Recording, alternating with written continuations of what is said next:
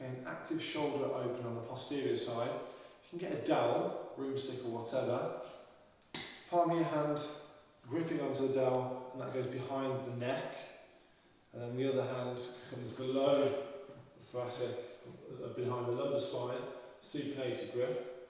From here, the dowel will be touching the tailbone, the mid-back and your head.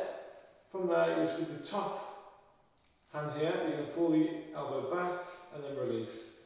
Back and release. And that's a fantastic dynamic warm-up the shoulder. So good grip, back and release. If you want to increase the stretch, you just bring your hands a little bit further down here and further up here. And again, you can just pull the elbow back and release. Elbow back and release.